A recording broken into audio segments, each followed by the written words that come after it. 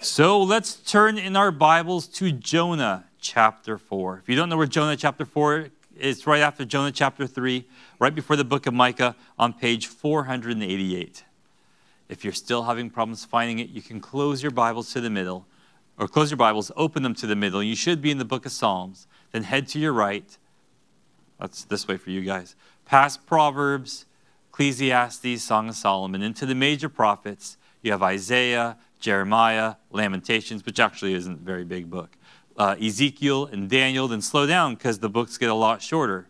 You got Hosea, then Joel, Amos, Obadiah, and then Jonah. If you hit Micah, you've gone too far. Just flip back a page.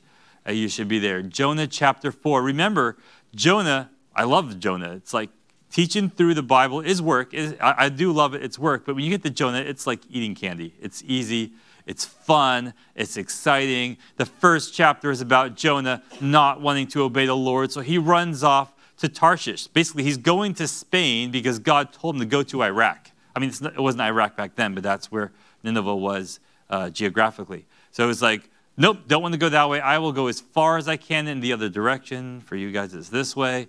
And uh, God says, uh, no. So God prepares a storm to stop the boat from forward progress. Then Jonah says, okay, if you want the storm to stop, throw me overboard because it's me who is disobeying my God that causes the storm to hinder all of us. And so the other guys are afraid. They're frightened. They don't want to throw Jonah over. They don't want to kill him, but they realize that they can't progress in the storm and they are afraid they will all die. So they pray and they ask God to forgive them for killing Jonah, and they toss him overboard, and then God prepares a giant fish to come swallow him up. You might think it's a whale. Sure, it's a whale. I don't care. It lives in the water. It's got a fin and a tail, and whether it goes this way or this way, it doesn't matter. We didn't start naming them fishes and whales till like the 1700s. Uh, before that, everything was just a fish. So uh, it makes sense that would be a, a sperm whale, but you know that's a whole different discussion. Anyway, the, the fish swallows Jonah, holds Jonah in his belly for three days and three nights, and then spits him back out on land. Chapter 2 is his prayer in the belly. It's a beautiful prayer, it's a prayer of repentance. We just wish the repentance kind of held a little longer, right?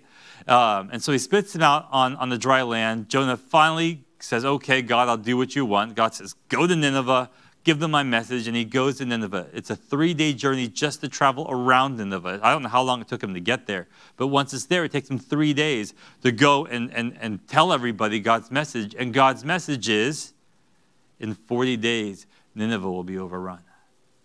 40 days, that's it. And then you guys are being judged. And Jonah just gives them that message. He doesn't give them any message of hope. He doesn't give them any message of, uh, it's not like, it's just a warning. It's like, you guys got it. 40 days, this place is going to be taken over. You're not going to like it. And he leaves. And what do the people do? They repent. Everywhere Jonah goes, in Jonah's disobedience, the people come to God. The sailors came to God. The, the people of Nineveh came to God, uh, come to God. The, uh, the, the scholars think that there could be about 600,000 people in Nineveh and the surrounding areas that may have come to the Lord. This is the biggest revival meeting that ever happened where everyone comes up and says, Yes, I want to give my life to the Lord. Like that's never happened before or since. Not even Jesus had this percentage rate of success. Amazing. And Jonah's going to pout like a teenager about it. Like he should be walking around town teaching people how to live a godly life. He didn't give them any instruction. All he said is, You are going to be destroyed. And on their own volition, they said, Well, maybe we should pray to God and ask Him not to destroy us. And they did. And God loved that. So God didn't. That's chapter 3. Chapter 4 is Jonah's reaction. Now it's just Jonah and God and a worm in the plant. So that's like the, the, uh, the whole up to now. And, and I just like, have you ever heard your grandparents say, you know, when you were young, it's like, well, you shouldn't complain because when I was a kid, when I was your age, what is it? I had to walk five miles to school, barefoot, in the snow, uphill both ways. How does that work? Do you live higher than you did in the morning? I don't know. And so it's just like they do that. You know, and my parents didn't, didn't use that story. My mom has a real story. My, my grandpa, when he, was, when he was a young boy, like 12, 13, he was kidnapped from his home, taken across the country in China, and, and, and given to this lady who paid somebody for a son. She was like, I want a son. I don't want to know how you got him. Here's some money. Bring me, bring me a boy. And he was raised by this woman. And he became a doctor. And he, eventually, we asked, like, did he go find his real family? And it's like, well, eventually he did. But, you know, when he was 12, 13, you can't travel across the country by yourself, not knowing where you're from or how to get there. And, and so, so he was raised. And then when he got older and had his family, uh, the communist revolution took over in China, and he was getting his family out, and they escaped to Hong Kong. And my mom was the middle child, middle of like eight. And she was, and when her mom died when she was like 12 or 13, she became the mother of the house. Her older siblings had jobs and they were off working, trying to, to, to earn money for the household and to save up to come to America because that was their whole plan is to come to America. And they did. They, they saved up for, the, for one person to come to America, and they sent one person over, uh, the oldest one. And then so she worked here and sent money back to bring the next one over. And then we had two people working, you know, and they eventually got everybody over. But like that was it. And then the younger ones were too young to go, to, to you know, they, the, too young to take care of things. So my mom got stuck with all of it. And then when school came around, my mom didn't even get to go because she had to take care of the house. They lived in an apartment. They, they rented one room, all nine or ten of them. All they rented one room in a two-bedroom apartment, um, and, and and there was no bathroom in in the in the apartment. They had to go down the hall to use some kind of communal bathroom. Um, and she drew a picture of it once so we could see what it was like. And and then so so all of her younger brothers and sisters actually got to go to school, and she didn't even get to go because she had to take care of the house. So she learned by helping them with their homework. That's how she learned everything. And so you can imagine when I'm, you know, growing up in America in the 1980s going, oh, this is so hard. She's like, you want to hear what hard is? And she'd tell me. And it's just like, I can't complain about anything, can I? You know, and, and eventually they made it over, and she came to, to America, and then, you know, what, when she was here, she had to get a job, and she went to college. She had to get a GED and then go to college, uh, and, and she didn't even speak English. So she had to learn English while doing those things all at the same time. So when I went to college, I'm like, college is really hard, mom. Nope. I get the lecture again. It is not hard. And I had to learn, and I did learn, to be very grateful for what I had. God's blessed me so much. And my dad's worked hard too, but you know, he came from Scotland. It wasn't as bad as China. And so, so things were just a whole lot easier for him, but he had his own uh, hardships that he had to deal with. Uh, he got drafted in the army during Vietnam, you know, and so he didn't have to go overseas. He worked in an office, which I'm grateful for because according to him, he couldn't throw a grenade very far. Uh, but he never played baseball. He was from Scotland, right? Anyway, uh, the whole point of that, you're going to tell me you don't throw a grenade, grenade like a baseball. I know that, but that's just my funny excuse. Um, we have to learn to be blessed with what God's giving us and what God's working through us because we have so much. And we, we want our kids to have these great lives, and we give them so much. And what we lose sometimes is that gratefulness. I remember when I, was, when I started coming to church, it wasn't this one because I was living down in San Luis Obispo. It was Pastor Tony's church. You know that guy. You know the cartoon trapped in the human body? That guy. So I went to his church first, and before he got the building that they're in, well, that the church is still in, he's not there anymore. Before they got that building, they were at the Vets Hall. And I'm sure you guys who've been around here forever have remember the Vets Hall days. I wasn't here at the time, so I don't know. Did you guys have to set up chairs every morning and take them down after every service? And sometimes when you came in in the morning, did the whole place reek of alcohol because they had some kind of party there last night and there were beer cups all over the ground? It happens, right? So what do you do? Do you complain about it? No, you just pick it up and sweep. It's like church is coming in like a couple hours. We got to get this place cleaned up, and you take care of it. And you're grateful for that. And the chair ministry is one of the best ministries that the church has because a bunch of people come together for a common purpose. No one's complaining. Everybody's trying to help out because if you're not helping out, there's no, you don't come, you don't show up. So everybody who is there wants to be there. Everybody's getting along. It is a great ministry. I met some wonderful people doing that chair ministry. When I said to Pastor Tony, I want to get involved, he said, well, show up at 6.30 and help set up chairs. I'm not a morning person. But okay, if that's what God wants me to do. And I loved it. Didn't love waking up early, but I loved the ministry. And, like when you get a building and you get kind of comfortable here, you kind of lose that a little bit. And comfort, even though like it's good for us to rest, we get too comfortable at stuff, it starts eating away at our spiritual lives.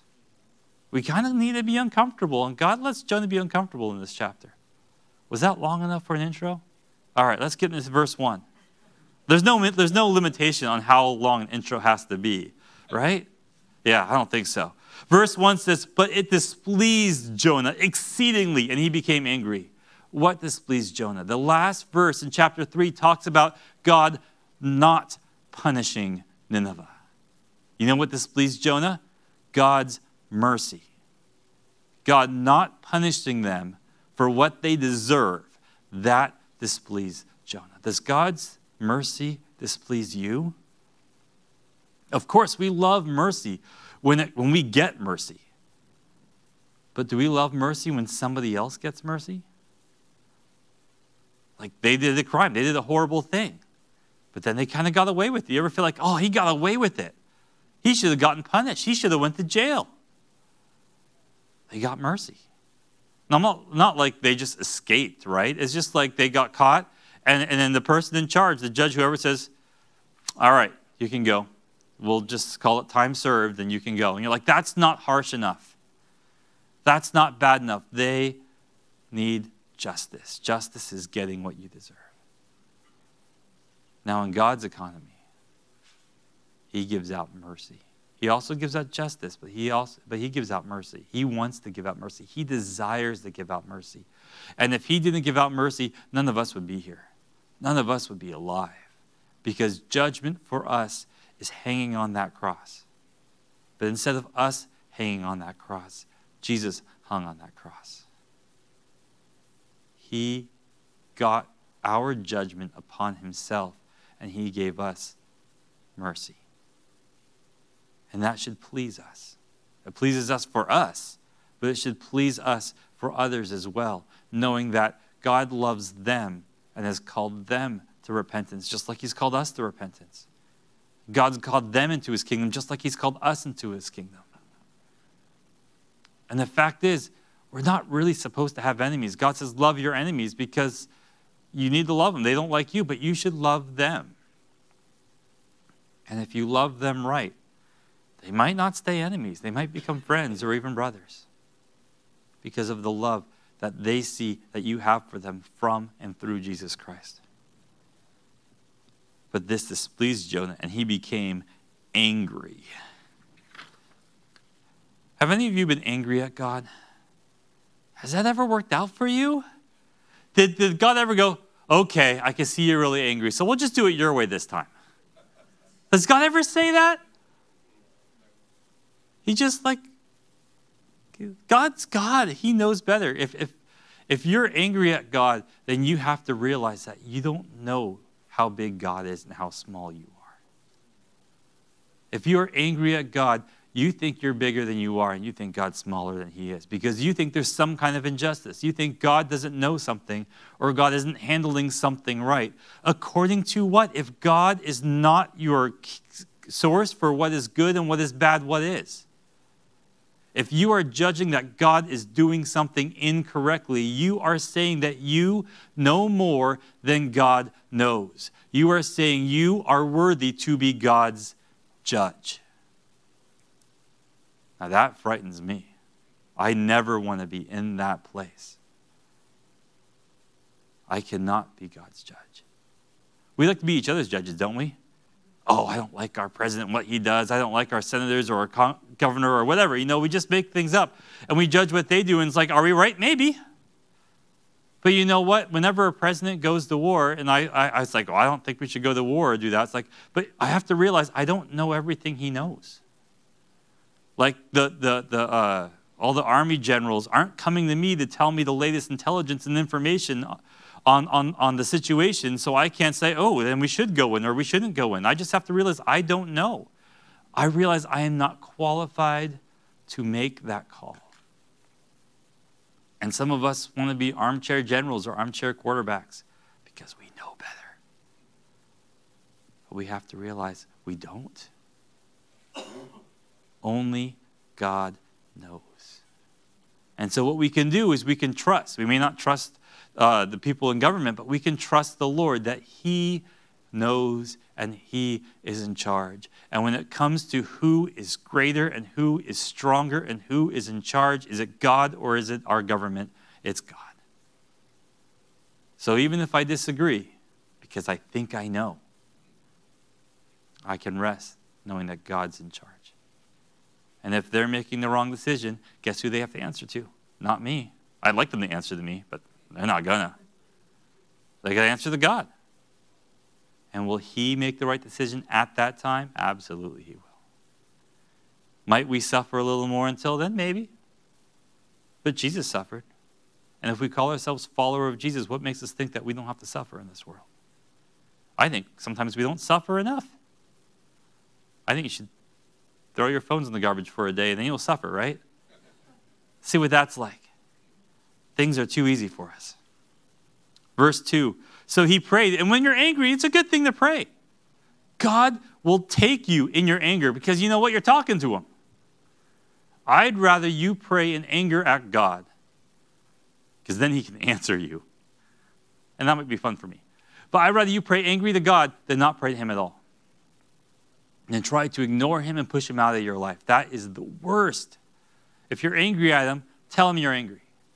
And I, I, I used to babysit this kid back when I was in college and I had to, you know, I couldn't afford it, so I got three jobs. And one of them was babysitting this kid every weekend. His parents were uh, in retail, so they worked every weekend. And he'd get angry. And so I'd start with, Why are you angry? And he'd tell me why he was angry. Is that worth getting angry about? Sometimes he'd say no, but sometimes he would say yes. Well, does, does being angry make you happy? No. Is being angry fun for you? No. Wouldn't you rather read a book or go play? Yeah. Well, then go do that. What's the point of being angry? It's not going to get you what you want. And I'd be, okay. And then you go do it. It's just like anger is something that we hold on to. And anger is something that we can let go of. I cannot imagine anywhere in the scriptures where anyone did anything right by being angry.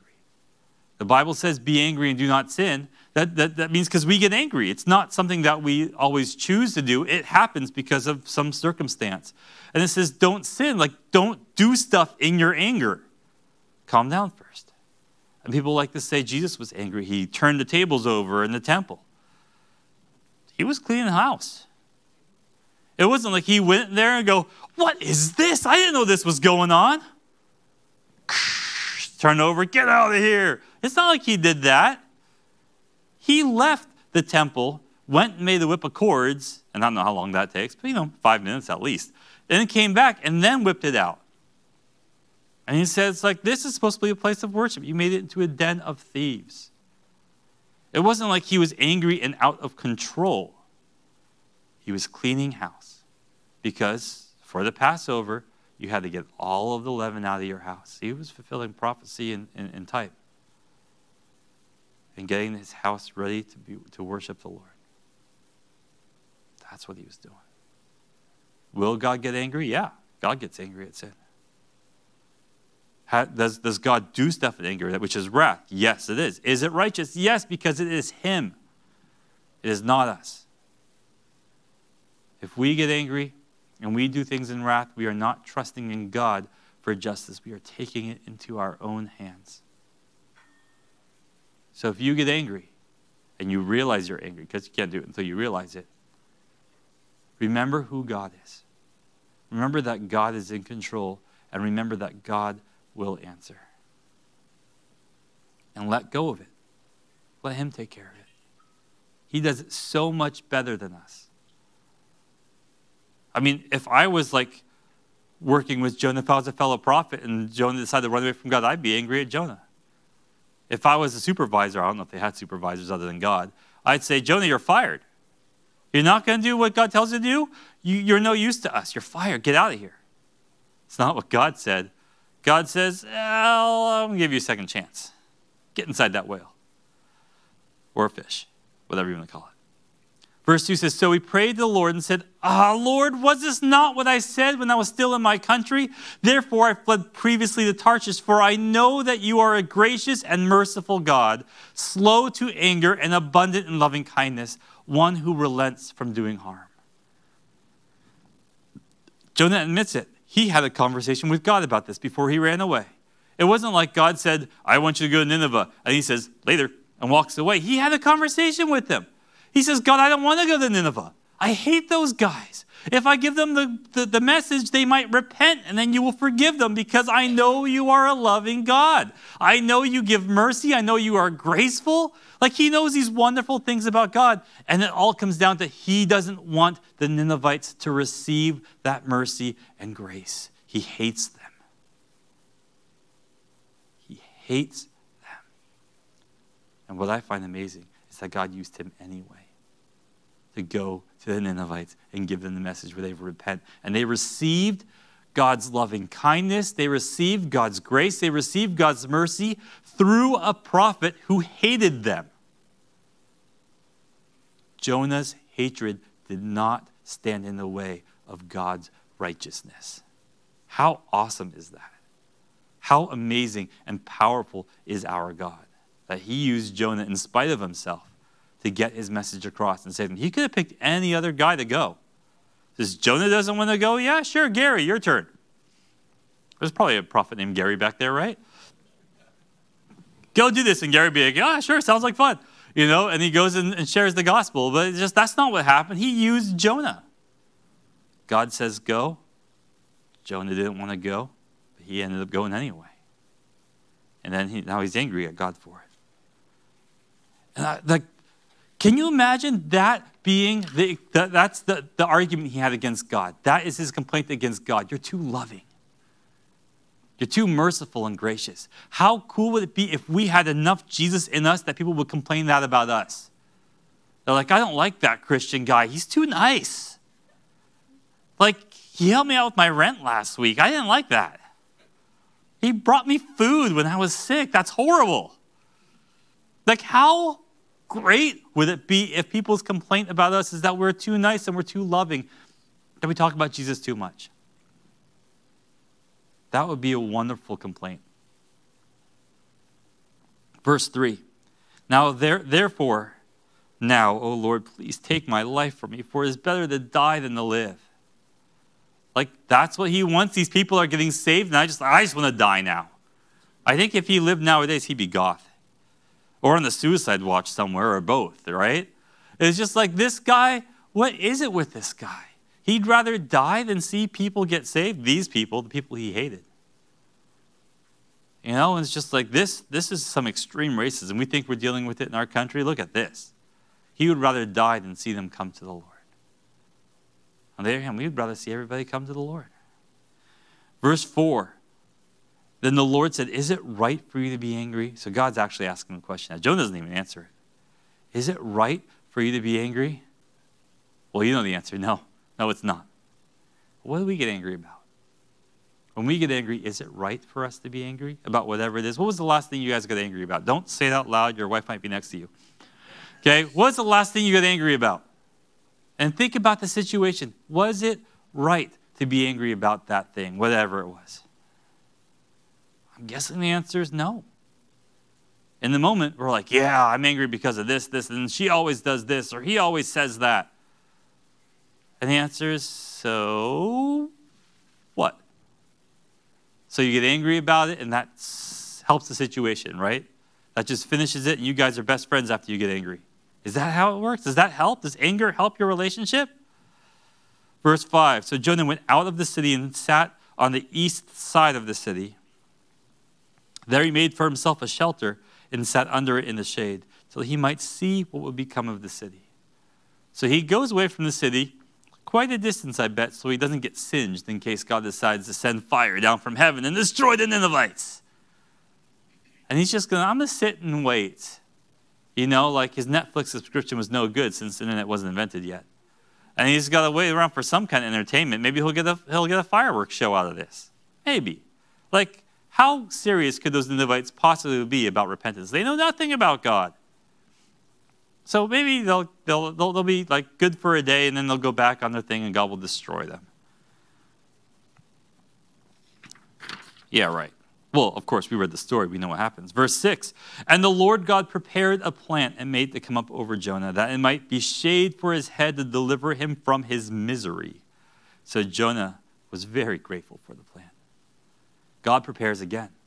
I like how it says God prepares a lot in this book. God prepared the storm, God prepared the fish, God prepared the plant. He's a preparer. And this plant has got a purpose. And it's a blessing. It is a blessing for me. I grew up in the shade. It was hot there. It was almost as hot as it is in Chico in the summer. And, and Jonah was miserable. Of course, he was miserable because he's angry. Have you ever been angry and happy? It's always angry and miserable. Uh, he was miserable. And so, like, this plant gave him some shade, some rest, some escape from the blazing hot sun. And he was grateful. The first time he was grateful in this whole book, right? He was never happy until now because he has his plant. He's got his shade and he's expecting a show. But as morning dawned the next day, God prepared a worm, so it damaged the plant that it withered. God's preparing another thing, a worm. This worm's getting hungry. He's going to eat the plant. The plant's going to be destroyed.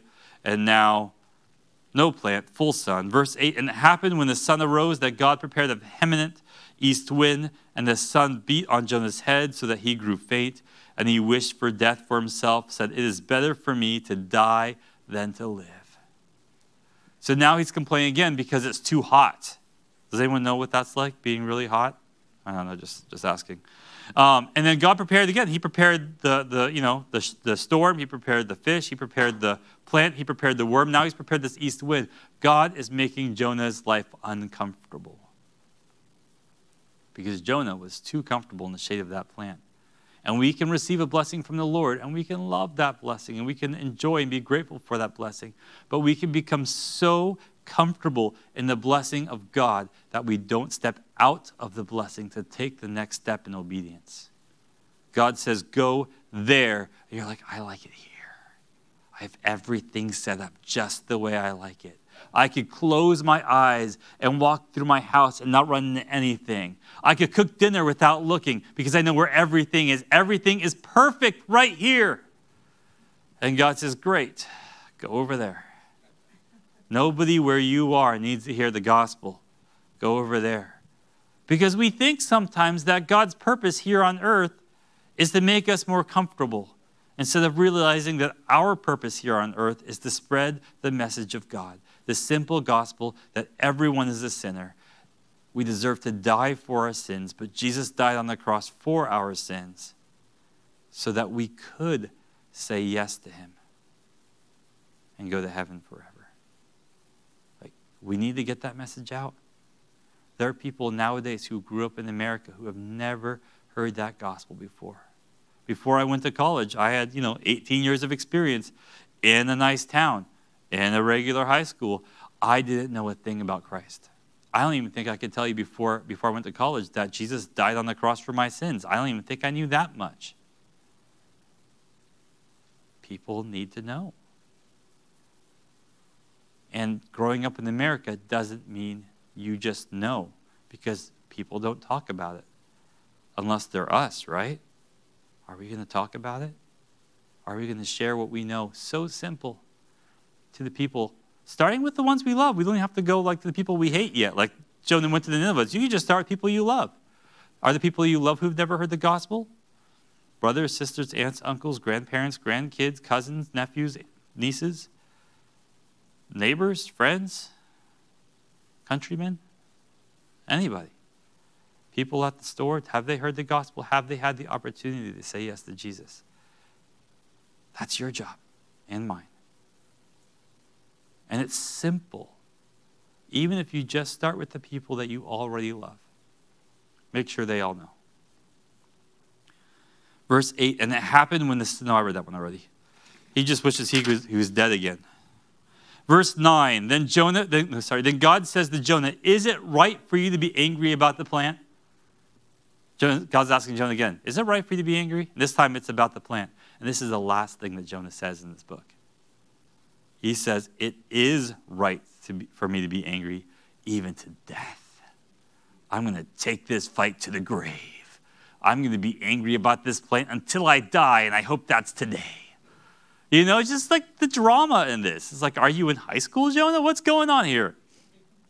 He's supposed to be an old man by now, and old men are supposed to be wiser. Not always the case, is it?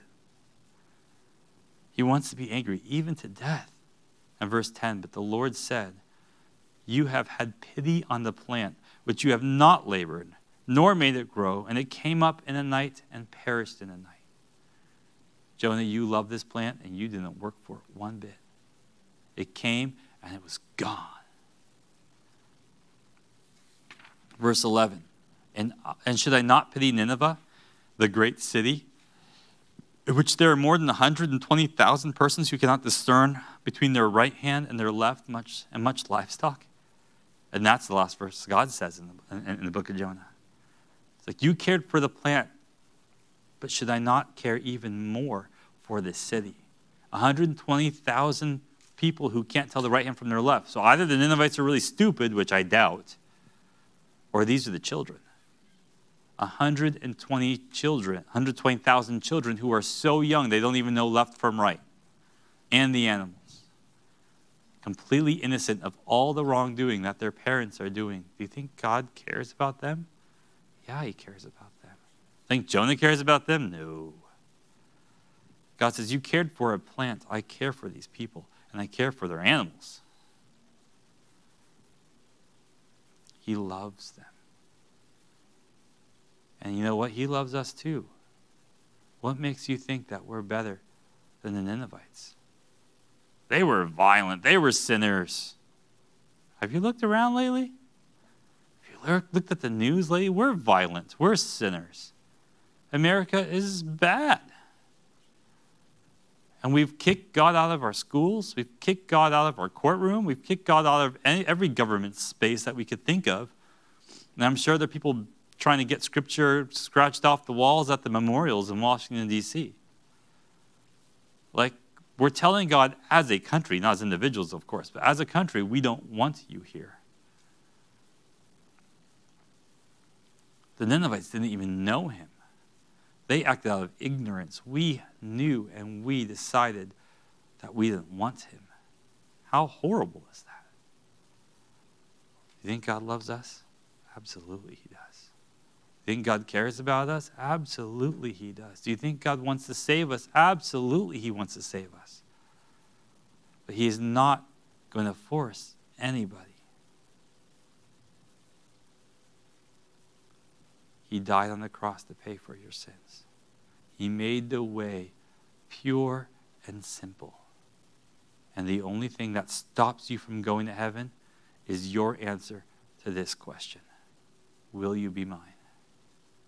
if you say yes to Jesus and you're willing to be His, He will change your life miraculously. It will be wonderful. And it'll be hard. It's not going to be easy. But you know what? Life is hard anyway. But it'll be simple and it will be better. It all comes down to you. Will you say yes to Jesus? Or will you continue to say no? And if you're like, oh, let me answer that later, it's not a yes or a no, it's a no. When I asked my wife to marry me, the first thing she said was, ah! It was a good scream. It was an excited scream. But then I said, that's not a yes. And then she said yes. So she meant, the scream meant yes. She was just excited. And so, like, it was good. But, like, if she said anything else, if she said, well, let me think about it tonight, you know what that means? No. I mean, she might say yes tomorrow, but right now it's a no. She's not, she would not be willing to marry me at that moment if she didn't say yes. And it's the same thing between you and Jesus. If you're here at church because someone brought you and you haven't given your life to the Lord yet, I don't know what you're waiting for, but figure it out. Jesus is asking you again and again and again Will you be mine? he promises to love and care for you. He promises to send His Spirit to live inside you. He promises to speak to you through His scriptures. And He promises to make your heart anew and to make you a new creation every single morning. The sins of yesterday are yesterday's sins. They are in the past, they are paid for on that cross. Today, you start out anew, you start fresh. God offers all of that to you if you would just say yes. But you know what He wants from you? He wants your sin. He wants to take it away from you. He wants to make you sinless. I mean, it takes a while, right? Some of us have been on this road for, for a few decades, and we're like, God, you're not done with me yet. And He's like, Nope, not even close. But I'm working on you. He wants your, your allegiance, He wants your devotion because through your allegiance and your devotion, He can work in your life. If you're like, okay, God, I'll give my life to you when I die, but until then, I got some things I want to do first. Doesn't work that way. And God's saying, well, then you're saying no for now, and later on, maybe you'll say yes. But God's asking you that question, and the question is, how are you going to answer? Let's pray. My Lord Jesus, thank you so much for Jonah. Thank you for his Thank you for his anger and his disobedience, Lord, that we get to see what it looks like when a prophet rebels against you and how sovereign you are to get your message out there anyway. And Lord, I'm sure Jonah repented eventually because he had to write the book. And, and we thank you for the humility that he had in writing it, that he did not cover up the stuff that makes him look bad because he looks horrible. It looks like he wrote a book on how to not be a prophet of God, but God's cool anyway. But when it comes to us, Jesus, that question remains. You ask if we will be yours. Lord, I pray that we would say yes. Not just once, but we would say it every day. Yes, I still want to be yours. I still want to be yours. I still want to be yours. And so I ask that question tonight Is there anyone in here who wants to say yes to Jesus for the first time. You've heard the gospel many times tonight. You're a sinner. The wages for your sin is death. That's what you deserve. But Jesus died on that cross for you so that you wouldn't have to die for your sins and so that you can go to heaven to be with Him forever. Is there anyone who wants to accept Jesus for the first time tonight? To say, Yes, Jesus, I'm yours. Maybe you want to, but you're not sitting in this room. You're watching online or something. If that's you, pray this prayer with me. Dear Jesus, I am a sinner. And I know I deserve to die for, this, for my sins, even death on that cross. But Jesus, you died on my cross. You died for me so that I could live for you. And you rose again on the third day. Jesus, please be my God. Let me be your child forever and ever. Jesus, I say yes to you, starting today. I love you, Jesus. Pray this in your holy name. Amen.